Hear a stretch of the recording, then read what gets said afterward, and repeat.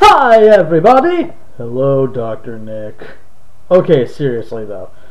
I was up into the late hours of the night composing my Infernity Guide, since some people asked me to do it, and holy crap, I think I just broke Yugimon's.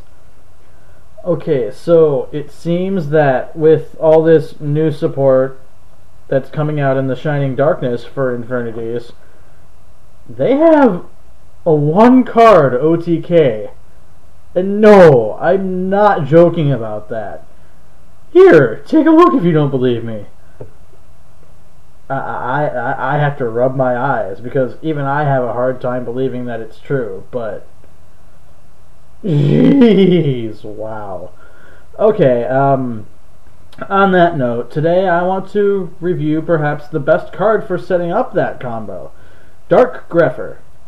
Dark Grepher is a secret rare from Phantom Darkness, and was also the participation promo in the form of a super rare for the sneak peek at the time. It's a rather expensive card nowadays because people are hoarding them. It's just good. Period. Ever since the sneak, Grepher has wormed his way into many decks for the sake of quickly setting up graveyard-centric strategies. You can discard a level 5 or higher dark monster to special summon him from your hand speedy. And you can also discard a dark monster to send a dark monster from your deck to the graveyard. Immediately, all sorts of combos. You can set up Blackwing value plays, you can pitch Destiny Hero Malicious, you can buff the dark count for Dark Armed Dragon. Whatever. The options are endless, really. Better yet, Dark Grepher himself is a dark monster, so he can be fed to Allure of Darkness if you need to, Dark Armed Dragon, Chaos, stuff of that nature. Um, and he's also a warrior, so you can come across him all the more easily thanks to reinforcement of the army.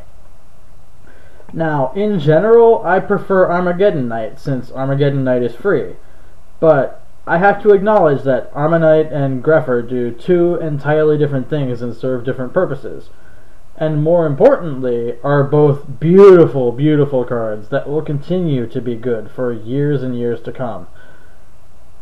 Huh. Well, that was shorter than I would have liked. Oh well.